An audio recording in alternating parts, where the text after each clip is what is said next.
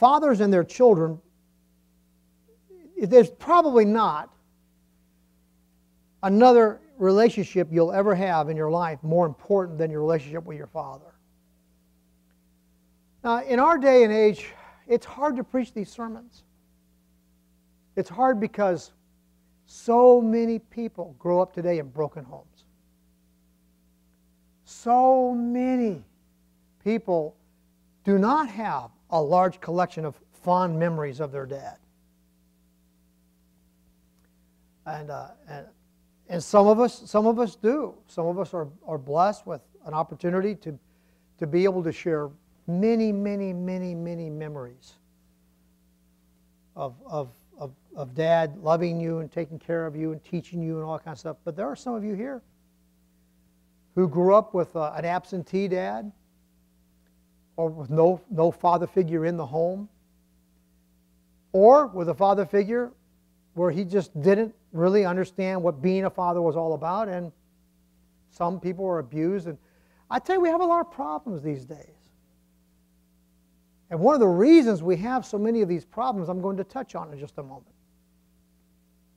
But the fact that a lot of people have complicated relationships with their father is not a reason not to preach on the importance of fatherhood. And it's certainly not a reason to, to, to, not preach on it in a crowd like this because we got a lot of fathers here.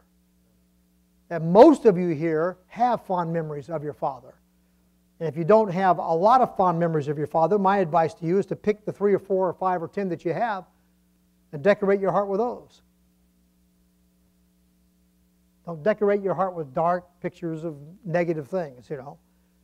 Decorate your heart with the good pictures, the good memories that God gave you. But more on that at another time. Right now, I want to talk about the importance of the father child relationship. Probably no other relationship is more important in your life. Even those of us whose father has gone on, he still plays a prominent role in my life. It's weird how many times my dad instructs me now, even though he's buried over there in Forest Lawn in uh, Cerritos or some town over there. Isn't that weird? And some of you understand. I can see some heads not you. You know what I mean. Some of you whose father has gone on, you know that something, just the memory of things he's taught you, things he said, just knowing his mind, his way, guides you and directs you in, in your life right now. And uh, I'm seeking my dad's counsel right now on my car. But I'm not going to have a seance. or go to, a, go to Jonathan, whoever he is, that talks to the dead the other side. That crackpot. No, but I will draw from memories and from things he's taught me and things he's said and try to, uh, you know, my point is, your dad is going to be with you the rest of your life, even after he dies. He's still with you in the sense that whatever he's taught you, whatever impress he's made upon your heart or imprint he's made upon your life, is still going to have be a factor in the way you live your life and so on. And so it's very important to work out your relationship with your father, even if he's already dead. And you know the best way to work out conflicts and problems you might have in your relationship with your earthly father is to get your relationship with your heavenly father squared away. I'm serious. If you get your relationship with your heavenly father squared away, that by itself will do more than any other single thing to help you resolve issues with your earthly father. I'm glad we have a heavenly father. You know, for many years it was assumed fathers were relatively unimportant to child nurturing. In the aftermath of our court's decision to liberalize divorce laws, which, by the way, began the destruction of the home in this country. And there's another issue, another hot button issue. Divorce is, is like so common today and, and so generally accepted by everybody today. It's complicated you know, it, it, it, creates a lot of issues for preachers where when they're trying to preach on something, they have to stop and give all these caveats out there.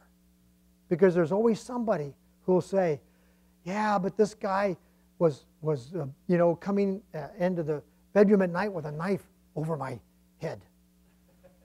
What do you expect me not to divorce a guy like that? And we have that kind of stuff. I'm not, look, please, don't go there. I'm not talking about the husband that's trying to kill his family. You probably ought to get out of there about as fast as you can. I'm not talking about that. And then we can get into all the other issues about adultery and all this kind of stuff. Let me tell you something.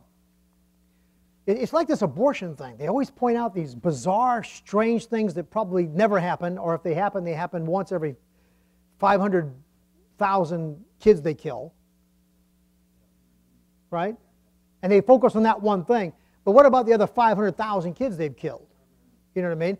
99% of divorces happen because people are too immature to work out their relationship problems. That's, that's what most divorce is about.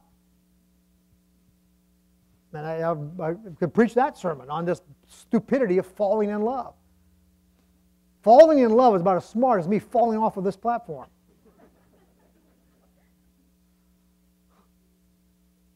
It's just dumb. And about, and about as effective. No, you plant your heart where it needs to be. You pay attention to where you put it and all this kind of stuff. But I don't have time to preach that sermon.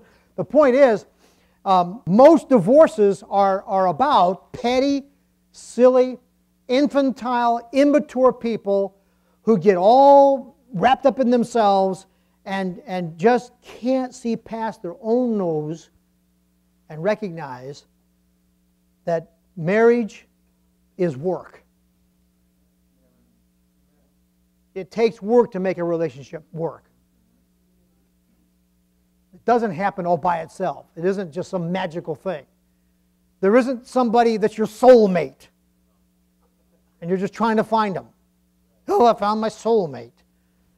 I don't know how many divorces uh, that, that, that I've had to deal with in the course of my ministry who were soulmates. It's just nonsense. And Hollywood pumps you full of this junk and it's foolishness. The truth is, marriage takes work. And, uh, and, and I've said it many times the, the number one thing, the, the number one thing that will keep a marriage together is the character of the people who are married. When you get done with it, at the bottom line, it's as simple as this Do you have the character to keep your commitments? Or are you of such a low character that when things get a little tough, you violate your vows? It comes down to character. Back in the day, when God's law that says what man has or what God has joined together, let not man put asunder, when that was the prevailing principle, when that was what guided the conscience of the nation, when that was the rule, well, we had a much better situation in this country. But when certain judges decided to make themselves God and arrogate to themselves the power to cut asunder what God joined together, then marriage began falling apart in this country. What God joins together, let not man put asunder. Man has no business granting a divorce.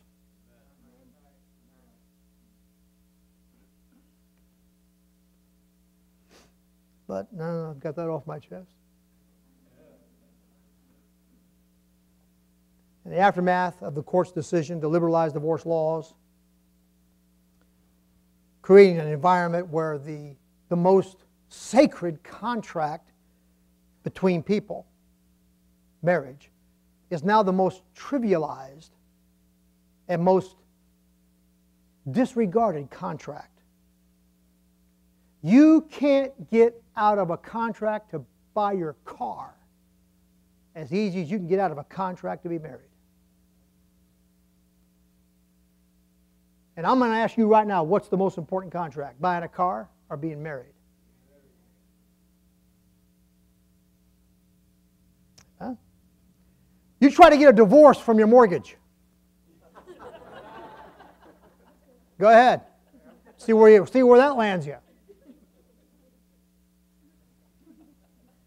It's amazing, isn't it, how we have come to disregard with such disdain and such disrespect the number one most important contract between human beings. The contract sealed with vows in marriage.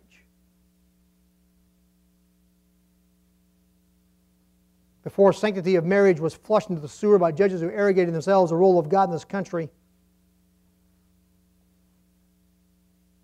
we understood the importance of father and mother in the home.